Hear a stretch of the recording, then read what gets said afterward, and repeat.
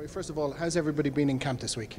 Yeah, look, it's, it's been a good week. Um, obviously, the boys last weekend against Canada um, had a great result. Um, it, um, it kept momentum going for us, and you know they came in with a spring in their step, having had the win. Um, the boys that didn't play last weekend come in, and um, I suppose we felt a little bit of pressure because of the way some people performed last weekend. So that sort of I suppose lifted our performance too in training. So look, the week's been been building nicely, but ultimately, look, we know that it's all about tomorrow at half five, and you know the Monday, Tuesday, Thursday, Friday.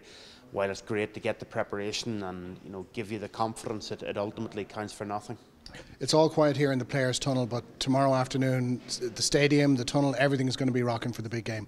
Yeah, look, again, this is the. Uh, it feels like a long part of the week now. You know, we have nothing until we probably meet at tomorrow at about four o'clock.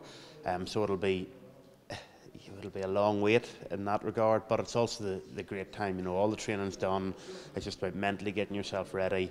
You know, you go out and about in, in the city and maybe have a cup of coffee or something, and, and there's the real excitement and energy that you get with International Weekend in Dublin. And um, like this is why it's it's great to play for Ireland and it's great to play at home here. This sort of the hype leading around this next 24 hours or so.